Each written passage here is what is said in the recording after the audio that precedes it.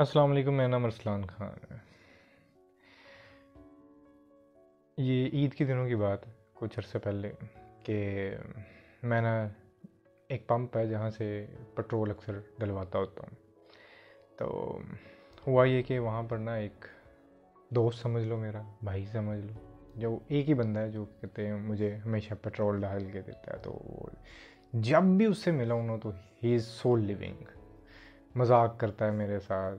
तो बड़ा खुश होता है। और कोई और अगर हो ना तो वो कहता है, नहीं, मेरी मेरी वाली साइड से आ गया अपने जो है ना वो पेट्रोल डलवाना है तो मुझे हमेशा उसे देख के ना बड़ी मतलब लिविंग सी फीलिंग आती है। हर वक्त हंसता रहता है, मज़ाक करता रहता है। और प्रोबेबली वो कहते हैं ये के पी वाली साइड से हैं। तो जिस तरह हमारे पठान भाई होते हैं तो हर वक्त ना वो बस कोई ना कोई जुगत लगा देनी कोई किसी चीज़ पे वहाँ सी जाना। मुझे बोल भी देना कि तुम तुम्हें लगता है ऐसे कर रहा है तो इस तरह ना किया कर फलान का। तो बस तो क्या हुआ कि मैंने एक दिन उनसे पूछा कि, क्योंकि बांटना था, क्या कहते हैं, जो कुर्बानी थी तो मैंने पूछा कि अभी तो मुझे नहीं याद रहा लाना तो आपकी ड्यूटी की कौन सी टाइमिंग होती है ना? तो मुझे ड्यूटी टाइमिंग बता दो, मैं उसके अंदर ही जो है ना कोशिश करूँ, फिर आके ना पकड़ा जाऊँगा। तो उसने कहा, मेरी ड्यूटी टाइमिंग जो है ना वो सुबह दस बजे से रात ग्यारह बजे तक होती है। अच्छा मैं जब घर आया तो मैं ना बड़ी देर सोचता रहा इस चीज़ को कि एक बंदा सुबह दस बजे आता है और रात ग्यारह बजे तक वो उधर काम करता है। और इसके अल्टरनेट अगर मैं अपने आप को देखूँ, मैंने कई दफ़ा इस चीज़ को बताया कि ये लास्ट ईयर ज़्यादा काम करता था मैं लास्ट एक दो साल से। इतना ज़्यादा करता था, जिच हो जाता था और जो सबसे बैड टाइम्स मेरे होते थे ना समटाइम्स ऐसे होता था कि पूरा दिन गुजर जाता था और मैं कुछ भी मेरे लिए जो प्रोडक्टिव होता था, मेरा नहीं कर पाता था। बट एटलीस्ट अगर मैं सुबह सात बजे सोता हूँ तो कई दफ़ा काम करते करते नौ बज जाते थे और पूरा दिन सिर्फ़ काम में गुजर जाता था। और मुझे होता था, यार, मुझे मेरा टाइम नहीं मिला, जिसमें कुछ मैं पढ़ सकूँ, कोई डॉक्यूमेंट्री देख सकूँ, कोई अच्छा लेक्चर सुन सकूँ। अच्छा आर्टिकल ही पढ़ लूँ। कुछ कुछ भी नहीं मुझे होता। और मैं उसमें भी कोशिश करता था सोने से पहले बेशक अपनी नींद कंप्रोमाइज़ थोड़ी सी मेरी हो जाए। हालाँकि आप लोग जानते हैं मैं नींद के बारे में बड़ा कॉन्शियस हूँ। बट प्लीज़ दस मिनट ही सही। मैं कुछ अच्छा देख के सोऊँ, ताकि मुझे एक फुलफिलमेंट का एहसास हो। और मैं जो अर्न करता हूँ, उसमें भी जब मेरे पास इतने पैसे हो जाते हैं ना, मुझे पता नहीं अगर छः आठ महीने मेरे गुजर जाएँगे। तो मैं मोस्टली अपना काम वगैरह भी छोड़ देता हूँ, क्योंकि मुझे छः आठ महीने की अपनी भरपूर ज़िंदगी दोबारा चाहिए। सो so, इस किस्म की मेरी मैंटेलिटी है। तो मैं फिर सडनली सोचूँ कि यार वो इंसान उसको अपने लिए कब टाइम मिलता होगा? और इतनी मतलब टफ जॉब है। गर्मी है ज़्यादा वहाँ पर खड़े रहना सारा कुछ करना। आई एम श्योर बहुत से और लोग हैं इस तरह के जिनकी इस तरह की लाइफ है। बट फिर मैं सोचता हूँ वो हर वक्त हंसता रहता है। वो मुझे मेरे से ज़्यादा मुतमिन लगता है। तो इसी दौरान ना मैंने एक बड़ी खूबसूरत सी ना एक स्टोरी पढ़ी। तो वो आपको सुनाता हूँ। तो फिर शायद at least I I think I able to comprehend this ना। तो शायद आपकी भी हेल्प हो जाए उसको। उसको थोड़ा सा समझना पड़ेगा। समझना भी क्या पड़ेगा? बड़ी क्यूट सी स्टोरी है। चाइनीज़ स्टोरी है बेसिकली एक लकड़हारा होता है, पहाड़ों पे वो लकड़ियाँ काटता है और उसका एक छोटा बच्चा होता है। उसका नाम होता है जुका वो दोनों बाप बेटा जो है ना, लकड़ियाँ काटते हैं। सुबह खा, नाश्ता करते हैं, लकड़ियाँ काटने चले जाते हैं। वापस आते हैं, शाम को आके चाय पानी पीते हैं, अपनी चाय चाय पीते हैं। फिर अपने किसी कामों में लग जाते हैं। रात को खाना खाया, सो गए, ये उनकी लाइफ थी। तो लकड़हारे ने जो है ना, अपने बच्चे को कहा कि ये थोड़ा सा नीचे ना, पहाड़ से उतर के ना, एक स्कूल है तो तुम उधर दाखिला ले लो। अच्छा स्टडी करो जाके। उसका ठीक है। उसने जूका को जो ना एक स्कूल में दाखिल करा दिया।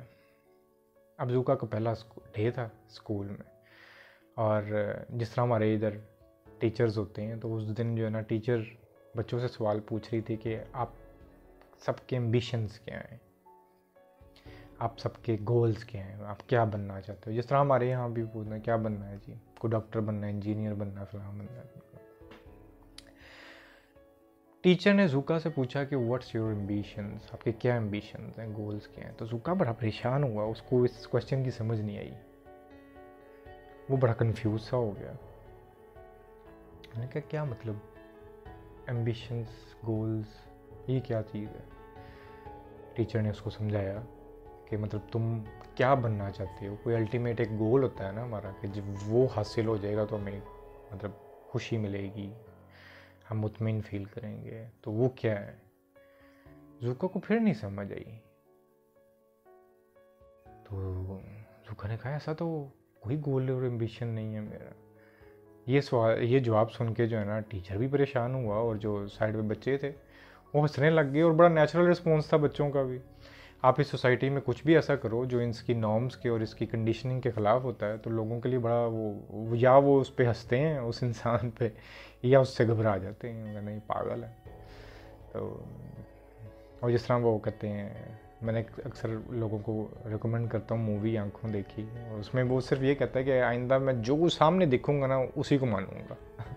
कि अगर किसी ने कहा ना, शेर जो है वो धाड़ता है, मैं नहीं मानूँगा। मैं जाके देखूँगा वो धाड़ता है तो फिर मैं मानूँगा हाँ भी धाड़ता है। तो उसकी सिर्फ़ इतनी सी हरकत से ना लोग इर्द गिर्द के समझना शुरू हो जाते हैं कि यार ये तो कोई बड़ा पहुँचा हुआ बाबा है। तो क्या इनलाइटेंड आदमी हालाँकि बड़ी सिंपल सी हरकत कर रहा है वो। तो इसी तरह बड़ा सादा सा उसका जवाब था जूका का कि, मेरा तो कोई ऐसा एम्बिशन और गोल नहीं है। तो क्यों ज़रूरी है ये? टीचर ने उसको एक्सप्लेन किया, ये इसलिए ज़रूरी है तो ताकि हम एक गोल सेट करते हैं हम उसके लिए हार्ड वर्क करते हैं और जब हम उस तक पहुँच जाते हैं तो हमें खुशी मिलती है। हम मुतमिन फील करते हैं। तो उसने कहा कि मैं एक गोल सेट करूँगा सामने के, आगे जाके फ्यूचर में इस तरह होगा। उसके लिए बड़ा हार्ड वर्क करूँगा, पर मुझे कब पता चलेगा कि मैं वहाँ तक पहुँच गया हूँ, उस गोल तक, या नहीं पहुँचा हूँ? ये तो बड़ा कंफ्यूजिंग सी बात है।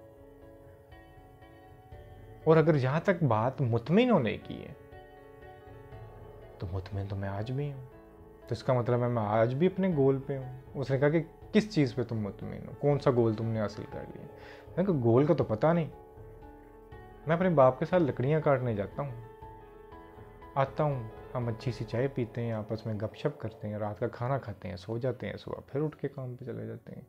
तो बड़ी मुतमिन सी ज़िंदगी है। I am good.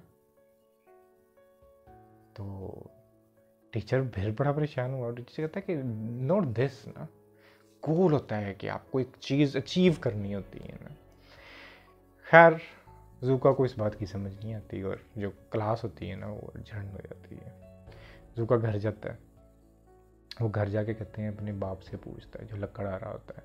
उसको कहता है कि कहते हैं, ये गोल्स और एम्बिशंस जो हैं, ये क्या होते हैं? और ये क्यों सेट करना ज़रूरी होते हैं?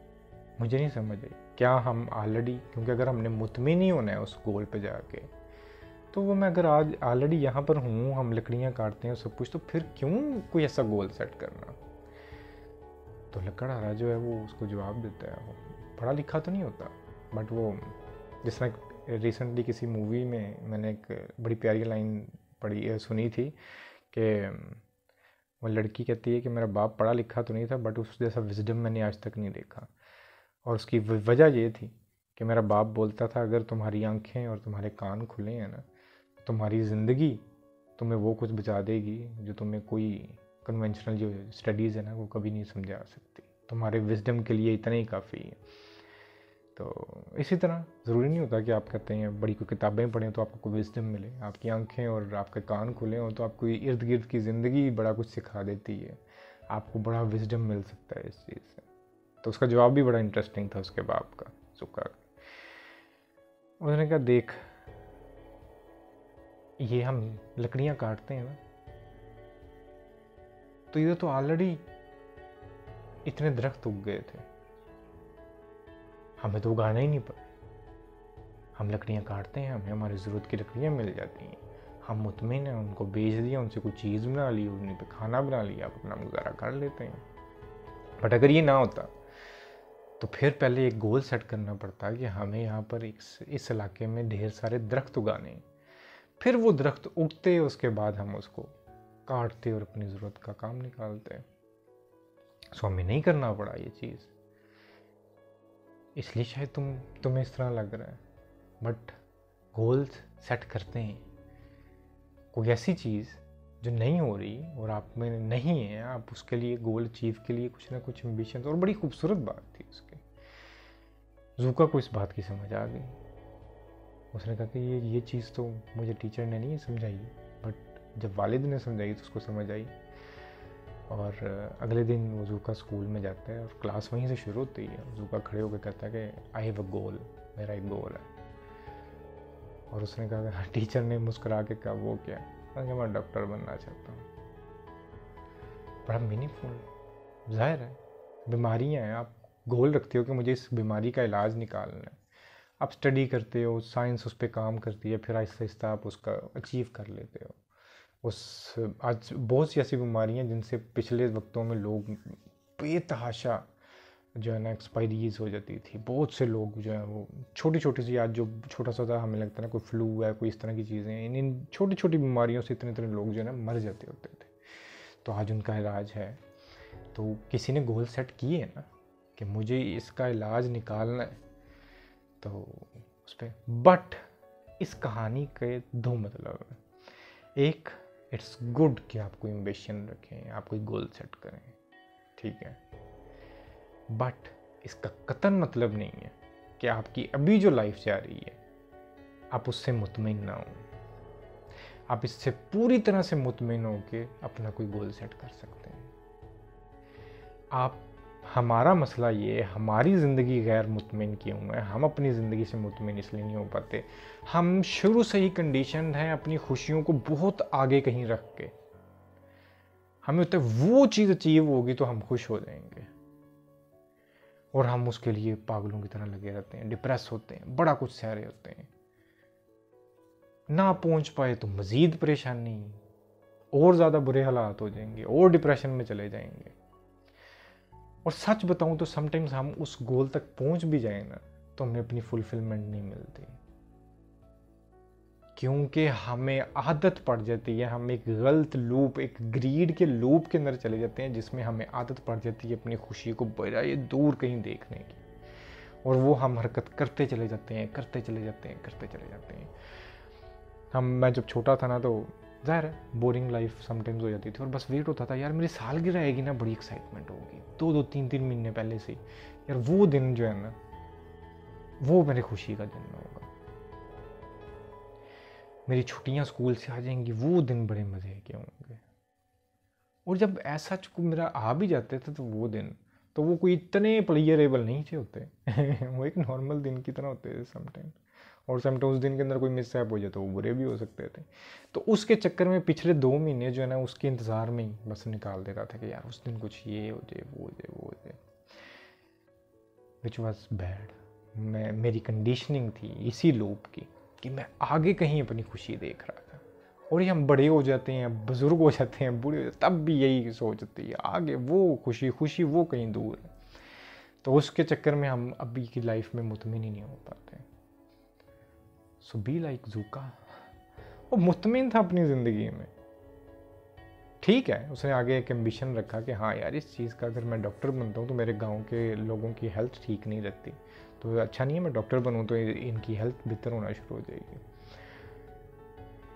और इट डजेंट मीन कि उसकी लाइफ तब तक जब उस डॉक्टर नहीं बन जाएगा, वो गैर मुतमिन रहे। वो इस गेम के अंदर गया ही नहीं, इस कंडीशनिंग के अंदर गया ही नहीं। पागलों की तरह पढ़ते जा रहे हैं, पढ़ते जा रहे हैं, पढ़ते जा रहे हैं मैट्रिक कर लो, तुम इंटर कर लोगे, अच्छी हो जाएगी। तुम मैं बैचलर्स कर लोगे, तुम मास्टर्स कर लोगे, अच्छी हो जाएगी। शादी कर लोगे, बच्चे कर लोगे। आप अगर शादी से पहले खुश हो तो आप शादी के बाद भी खुश रहोगे। आपका अगर कोई बच्चा नहीं है, आप तब खुश हो तो बच्चा जब हो जाएगा, आप तब भी खुश रहोगे। आपके फाइनेंस अगर कम है, अगर आप तब मुतमिन हो, शुक्र कर रहे हो तो जब आपके पास आएगा, तब भी आप तब तो ओबियसली आप खुश जो है वो खुश और शुक्र मनाओगे। बट पॉइंट इज़ कि आप जिस हाल में हो उसमें बहुत सी ब्लेसिंग्स हैं आपके पास।